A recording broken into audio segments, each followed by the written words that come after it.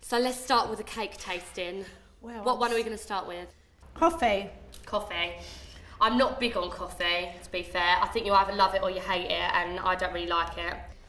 How are you feeling now? Because I've never seen you so upset and stressed like the other day.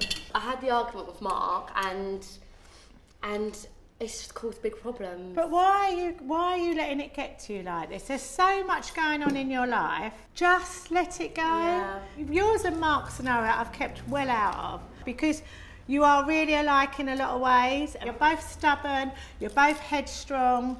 He wants James. You want James. Maybe I do blame Mark too much. I feel like James James is naive and just wants to please people. Let's try this one. Oh God, this looks lovely. How fantastic does that look? Pretty fantastic. James needs to make choices, Lydia. And the problem is, is he's not very good at making choices. Mm-hmm. My advice to you, darling, is maybe you've got to put a bit more effort into getting on with Mark.